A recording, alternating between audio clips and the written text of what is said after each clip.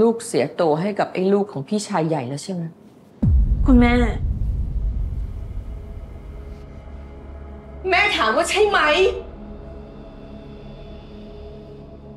ลูกชอบมันใช่ไหม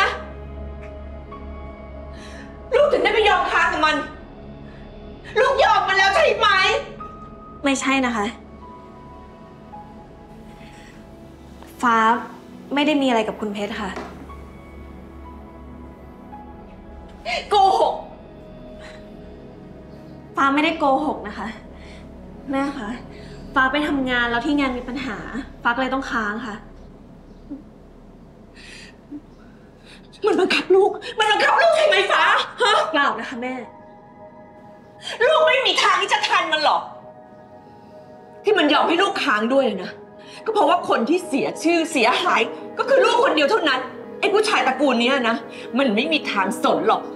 ว่าชาวบ้านนะเขาจะพูดว่ายังไง มันไม่สนหรอกว่าลูกอาจจะเสียหายขนาดไหน แม่คะฟ้าไม่ได้ คอยดูเถอะ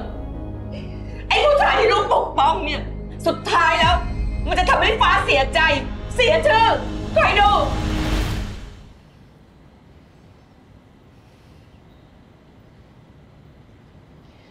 มันทำให้ลูกเสียใจ อับอายเหมือนที่มันทำกับแม่ ใช่ไหม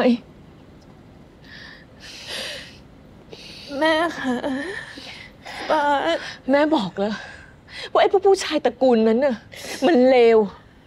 มันทำร้ายทั้งฟ้าทำร้ายทั้งแม่ แม่คะฟ้าฟ้าบอกแม่สิบอกแม่มาว่ามันทำอะไรฟ้า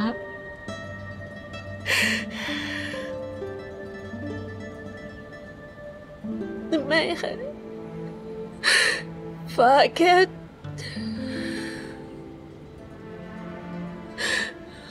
ฟ้าฟ้าอายค่ะฟ้าอายค่ะแม่ฟ้าไม่อยากไปทำงานที่นั่นแล้วอะ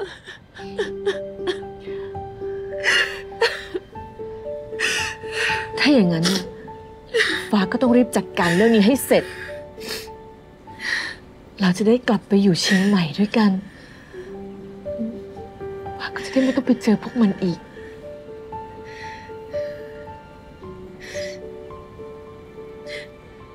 รีบจัดการเรื่องนี้ซะ อย่าหลุดโฟกัส ไม่ต้องไปสนใจไอ้ลูกพี่ชายใหญ่นั่น ปล่อยมันไป สักวันหนึ่งอะฟ้าก็จะลืมมันได้เอง เชื่อแม่นะลูก เชื่อแม่สิ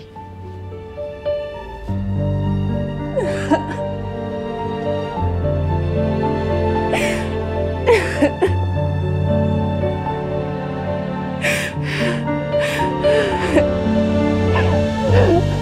ลอง 35 ล้านซับ3พลัสแจกโค้ดดูฟรีแบบฟินๆ กดเลย